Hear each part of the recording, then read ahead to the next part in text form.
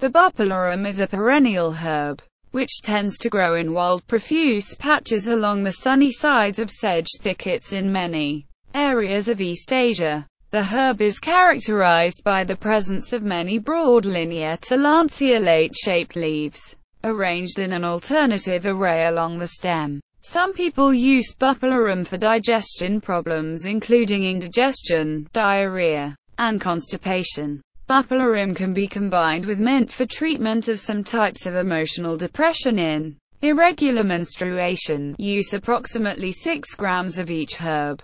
Place bupleurum in 2 cups of water, bring to a boil, and simmer for 10 minutes. Add mint leaves and boil for another 5 minutes, let cool and drink as a tea. Liver conditions and diseases are easily dealt with due to the strong anti-inflammatory action possessed by the herb. This property of the bupleurum is believed to be a major contributory factor in its ability to heal liver disorders. This herbal tea can also be found in the form of tea bags. It is a primary component in a Chinese patent medicine called Xiao Yao San or Xiao Yao Wan. San means powder and Wan means pill. The Chinese herb bupleurum has a unique reputation for deeply cleansing this overburdened organ. Women who drink bupleurum tea will enjoy how it relieves painful PMS symptoms as it relaxes the muscles and thus reduces uterine contractions.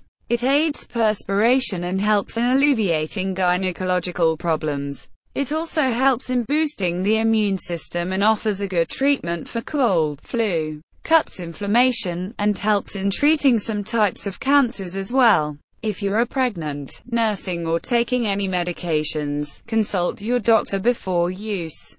Consult your healthcare provider before beginning use of any herb. There are certain combinations with bupleurum which may cause undesirable side effects such as nausea, pneumonitis, and reflux in some sensitive patients.